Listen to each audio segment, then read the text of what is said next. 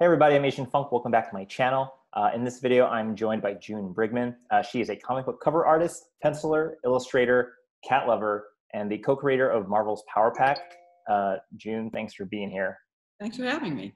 Um, did you hear that ding? I did. Okay.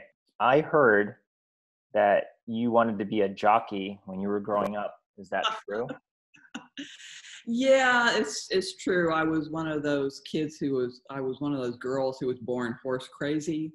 Um, that was one of the first things I learned how to draw was was horses. I I didn't have a horse, uh, so I would I would draw lots of horses and read lots of horse books and thought I would grow up and be a, a jockey. Um, but the problem was I kept growing, so Mm. that didn't work out. But uh, then I did learn to ride horses, and I I I have a horse, and I I do still ride. So uh, never got out on a track, but um, sometimes we go pretty fast.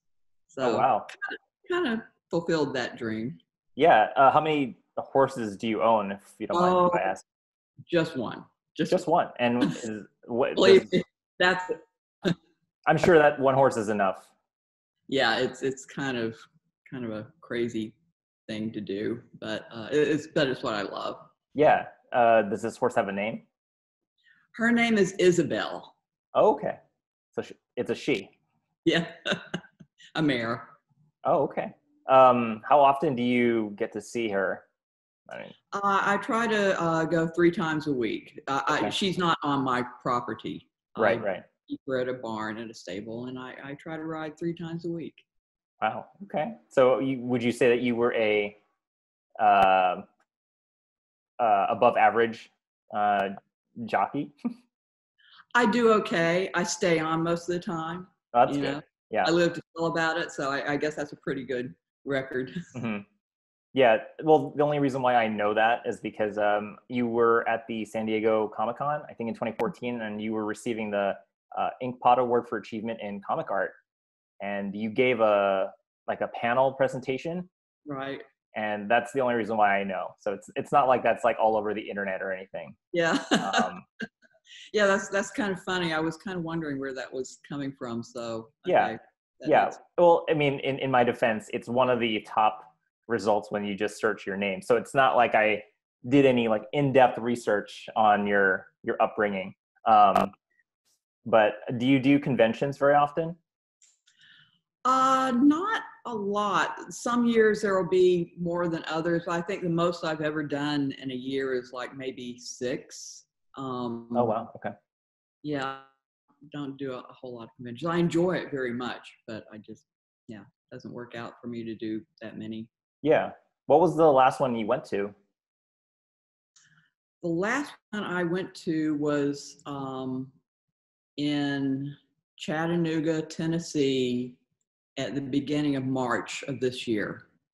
Oh, And that was like right before. Before The uh, hit the fan. Yeah. so, Yeah. Yeah. hmm so that was I was supposed to go to a, a, convention in, in England at the beginning of May, and Oh, okay. obviously that, that did not happen. So uh, hoping for next year. Yeah. Would that have been your first time to that particular convention? It was Portsmouth Con, um, Okay. and that would have been my first time at that convention, my first time in England. So Oh, I was I was really really looking forward to that, and it's a it's a big show. I'd heard lots of good buzz about, uh, but um, and you know hopefully maybe by 2021 things will have calmed down, and we'll Yeah. try again. yeah i'm sure i'm sure by next year everyone's going to be uh, full on going to every convention that they can um, yeah, yeah, I hope so. um, so yeah and also when you were at san diego in 2014 that was the 30th anniversary of power pack i don't Right. know um, can you tell me a little bit about who the power pack is for those of us who don't know about them Uh, Power Pack, um, it's uh, a group of siblings, brothers and sisters. Um, at the time I was doing it, they were aged about five through 12. Mhm. And the writer and I have tried to keep them at about that age. Um, and they got superpowers bestowed upon them by an alien who crash landed uh, in in the ocean on the beach, Hmm. uh, actually on the beach just outside their vacation home. And as he was dying, he transmitted his powers, one an aspect of his power to each of the kids. And they really need those powers because right behind this very good alien was a very a group of very bad aliens. Um, You know, of course, to get the kids, destroy the earth, Of all the course. usual. Yeah, yeah. That's so cool. you know, there, there were there were kid superheroes with superpowers, but also all the problems and foibles and disputes that go on between brothers and sisters, especially with little kids. Mhm. Yeah, that's that's basically Power Pack. I, I co-created it with the writer Louise Simonson. And the first issue came out in it was like spring of 1984. Oh yeah, 84. That's a good year. That was the year I was born. So, Okay. um, how did you and Luis? Well, so I guess let me back up. Um, how did you find yourself at Marvel? Um, I was looking for work, and I had worked with um, a guy named Steve Ringgenberg on a job for DC. It was a DC new talent book. I was just trying to get started, trying to get my foot in the door. And Steve worked at Marvel as, I think, like an assistant editor. And he got me in the door. You could do that back then. If you knew somebody in the office uh, and you could get just get in the door. You didn't have to have an appointment really. Um, you know, once you were in, you could just go from office to office, knocking wow. on doors and showing your portfolio. Yeah, that would that would never happen now. It's Right. really- Yeah, it's very different. Yeah. I, honestly, I don't I don't even know if I could get in the door. Um, but this was an editor at Marvel at that time, and um, she didn't have any work for me then but she had just kind of come up with this idea for for Power Pack, and she asked me if I knew how to draw children, and I said, yeah, I I did. Um, I had spent a summer at an amusement park called Six Flags Over Georgia. When I was 16, doing portraits, and they weren't Oh like yes, goofy yes. characters. Yeah, yeah. Like the, yeah, yeah, like the, the caricature. And I, yeah, they, they were, but these were like serious pastel studies, um, not the big goofy, you know, head, big feet, that kind of thing. Was supposed to be serious. And um, did that summer, I did like, uh, I think over 600 portraits and most of them, most of them were probably pretty bad, but I learned a lot. And I did do a lot of children because parents always want their children done. Sure. And um, so I, I did have some clue about drawing children. And, you know, I did some samples. We put together a proposal, and the editor in chief at the time, Jim Shooter, liked it. Basically, shook our shook our hand, gave us contract, and said, "Go make comics." So, Wow. And and then is how did you meet Luis and how did you both, you know, work on coming up with these new characters? Well, I mean, at that time, I was still living in um, just outside of Atlanta in Georgia. And um, on my visit to New York, I mean, I met with her and, you know, we talked about the characters she gave, she showed me her proposal. Um, I did sketches, um, some character designs, the basic character designs we ended up using. Um, most of it, gosh, this is a long time ago, but most of it was done on that first that first visit to New York, and then you know I, I went back home to uh, Georgia and kept working, and you know there was no internet back then, Mhm. so sure we talked on the phone a lot, and then um, we decided to move to New York and we moved to White Plains just outside of New York City.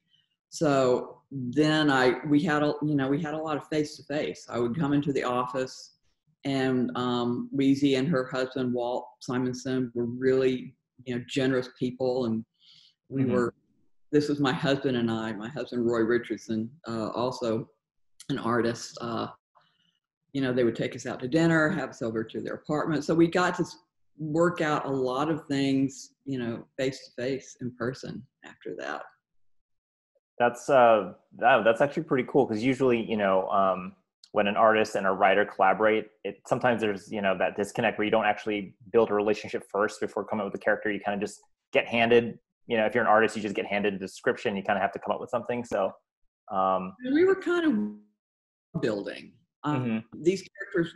Yeah, they were Marvel universe, but uh, you know we had we had the this this fam the siblings the brothers and sisters to figure out their parents the good guys the bad guys other planets um, so it wasn't it, it, was it was a really good working relationship mm-hmm. you know Weezie was very open to input and ideas and it was it was a great collaboration how did you uh, you both land on the names Alex, Julie, Jack, and Katie?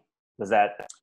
You know, she came up with the names, and I I I wish I could remember exactly how that happened. Yeah, that it's been a while. to do another another um, interview with, with Weezie as a follow up. um, that's a really good question. I should should know that. But she came up with them, and they may have been. I want to say they may have been based. Um, I mean, she has a daughter named Juliana. Mm. So the mm. Julie might have come from that. And then she had nieces and nephews.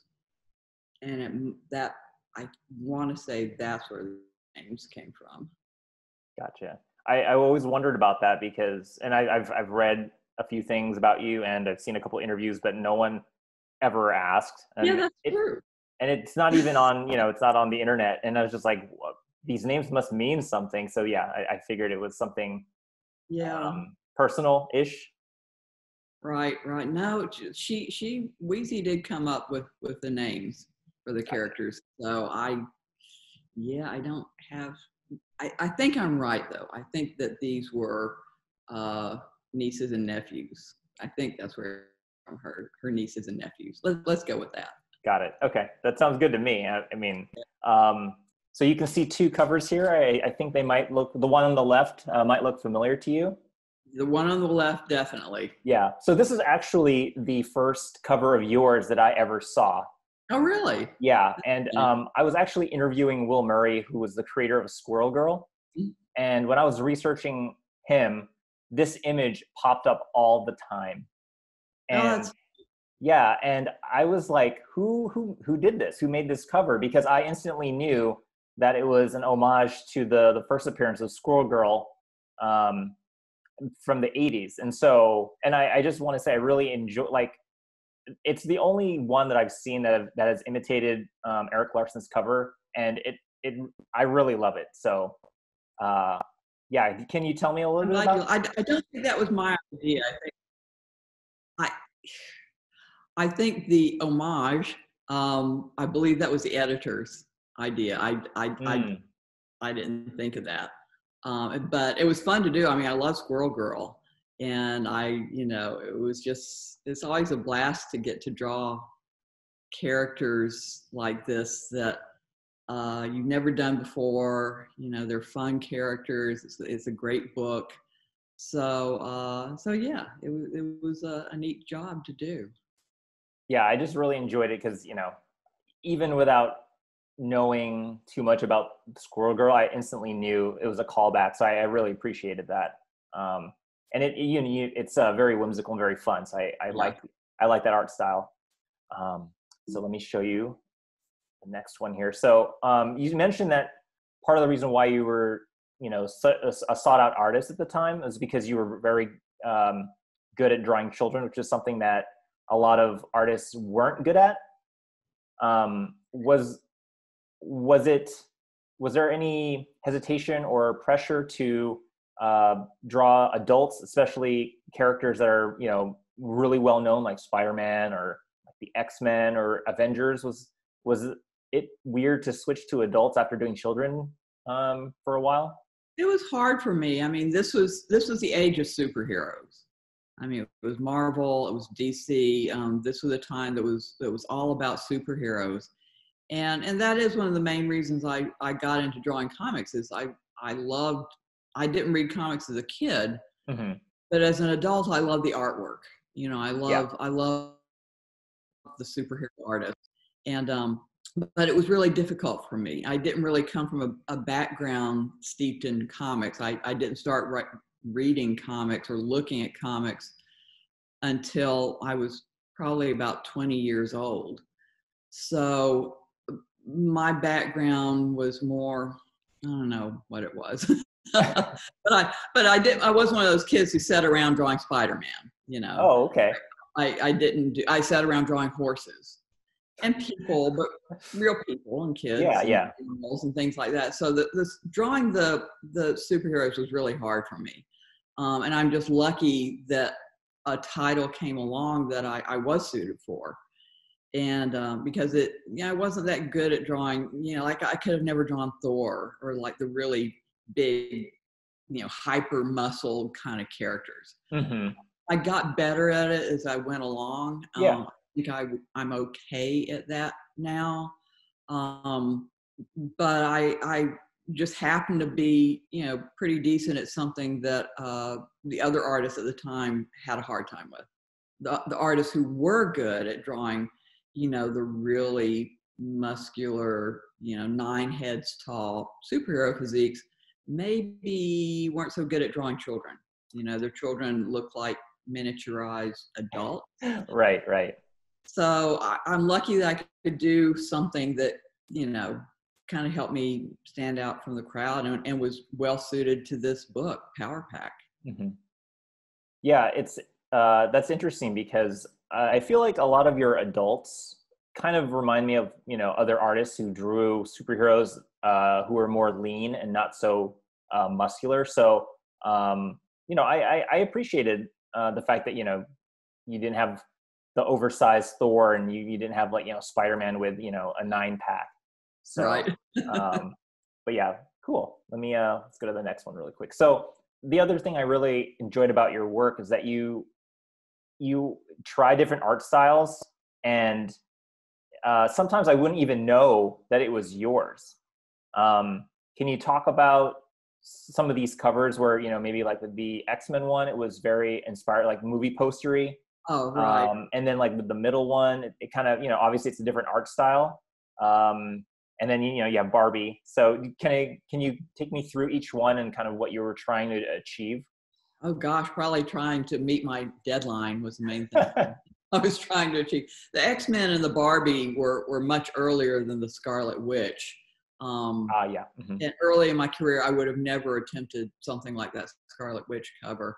Uh, the X Men, yeah, I was definitely going for like a, a movie poster kind of montage thing. Uh, that was a really fun, my- fun story. The only time I, I got to work on the X Men, and that was again really early on in my comic book career, and I Mhm. was still trying to figure out what I was doing. But I, I still like the, it, it's, it still holds up pretty well. It does, yeah. It, it caught my eye, and I was like, hey, you know, that's obviously kind of like one of those, you know, uh, classic, uh, you know, Casablanca type of, you know, Gone Right. with the Wind themed images. So yeah, I really appreciated that. And uh, the the Barbie one, I gosh, I haven't seen this one in a long time. I think yeah, it's 1990. Wow. Uh, I mean, the Barbie covers were fun. Um, it wasn't a lot of fun working with Mattel. They were they were. Oh, really? Anytime you do license work, uh, the y- you're gonna run into um, a lot of approval Yep. by committee sort Yeah. of thing. So that that could be difficult, but I still like that cover. It's kind of fun. It is, yeah. And then the Scarlet Witch I did fairly recently, um, and I I did that. I wasn't Marvel didn't commission me to do that. I had done that for a class I was taking. I, at the time, I was working on a master's degree in illustration at at SCAD. Oh, okay. And, um, I had been playing with with painting and you know some experimental type stuff, and uh, just you know for the hell of it, did that Scarlet Witch cover. I love the character, and I've always loved her original costume. hmm And that's all. That is completely traditional. There's uh, no Photoshop going on there. And um, after I did it, I I sent it to uh, an editor at Marvel, and said, "Hey, would you ever want to use this?" And he was like, "Yeah, we'll use it." So they did, and uh, you know, I, I still really, I still really, those are act, those pansies are actual real pansies from my garden that I plopped down on there. Oh, okay. Then the panels at the top, my husband let me, you know, kind of cannibalized one of his comic books. oh, interesting. Okay. And um, and the thumbprints are my actual thumbprints. So. Uh, oh, yeah, I did not even notice that. That was a lot of fun to do. Okay. Uh, are do you have other characters that you've done where you were experimenting with you know certain mediums and art styles that uh, that have yet to be released? Mm, yet nothing that's yet to be released. I haven't had a lot of time for exper. I'm I'm more about production. Um, mm-hmm. You know, I I've been pretty busy, so it I would love to get back into doing some painting and doing some more things like the Scarlet Witch cover. Um, but it it takes time to to play uh, and figure things out, and I just I just haven't had time to do it. Yeah, that makes sense. Um, yeah, well, anyway, I, I just really enjoy that. You know, if I were to show somebody, you know, two out of the three images, they would not be able to tell that they were the, by the same person. So good. That's what I want. I, yeah. I want to do more things where people are like, "Oh my god, Jim yeah, yeah, yes, right." And the fact that you change your signature too also, you know, adds to the illusion. Okay, good. um, so the, these covers are also one of my favorites. Um, I'm assuming it, Roy is your husband. He is. June and Roy. Okay, okay, because I didn't realize that's who it was until you mentioned that your husband Roy was also an artist, and I was like, I wonder if he helped or if he did these covers with you. Um, can you talk a little about a bit about the this series um, and you know uh, if you were trying something different again uh, in terms of your art style um, or whatever, however you came up with these covers? Right, uh, a little different. These these were all these were a blast to do. I love doing these covers. I think the first one um, I did was was the Black Widow, mm. and uh, you know I just wanted to come up with something a little more graphic yeah. and designy um, than I usually do. I, I, didn't color. I can't remember who colored that one. I didn't color that. Um, my husband Roy inked did the he inked the line work on all okay. these covers. Um, I can ink, but not as well as him. And it's uh, you know, it's kind of part of our little cottage industry that he can be inking while I'm drawing. Yeah. Um, the the other covers I I did color myself. Um, you know, now there's nothing really traditional here. Some of the textures that are created, like on the the Spider Gwen, the background texture that was hand created, but basically it's Photoshop. It's, it's, it's these are it's Photoshop coloring. Gotcha. And um, it was fun. I'd never gotten to color my own covers before but that I, you know, requested that I be, be allowed to do that, and the editor was like, "Okay, go ahead." And um, yeah, it was a lot of fun, and um, you know, I love these female characters. I'm probably better at drawing women than, mm. than I am drawing men, and um, I was I was pleased with all how all these turned out. Yeah, you did a lot of them. Uh, I mean, I'm only showing three right now, but I, I you know, there's you know, there's She-Hulk and uh, a bunch of others, and I was like, okay, I'll, I'll just pick these three for now because you, you, did a lot of them, um, and they're all they're all great. I, I, love them. Thank you. Is there a story to this image? Sure. Um, this was done. Actually, this was printed in the the back of the very first issue of Power Pack, oh. and oh. this is this is done by um, uh, Walt Simonson, Louise Simonson's husband and he did one of me and one of Weezie and one of the inker on the book, Bob Wiacek. Mm-hmm. And uh, this was done, I think it was in, in 84, 83, 84. And uh, yeah, he, he really, he got, got me. I mean, it's, it's a great, it's a great drawing. And I, I still, I have the original up on, hanging up on my wall in my studio. Um, I think I just have a couple more questions. If you could cast any child actor to play the Power Pack, who would you ideally cast? I don't really know. Me neither. No yeah. you can say you don't know because I honestly I don't I don't think I can name a single. You get like 12 year old Chris Evans to play Alex and Okay. Yeah. All right. eight, 10 year old Scarlett Johansson to play Julie. Um, and uh, I don't know, Jack Jack and Jack Kate might be like eight year old Russell Crowe or something. with an Australian accent. yeah, yeah, why not? Why not? And uh, Katie, I don't know. Um, that's kind of a tough one. Yeah, sorry. No, it's okay. Is there anything you have coming up that you want to talk about, or um, is there a place where people can follow your work that you want to let Um, them know? I am on Instagram, kind of. I. I, I don't do a lot of posting. I should do more, but I don't. I am on Facebook. Um, if you Google me, I don't have a website. Uh, I know I should put one Mhm. together, but I haven't.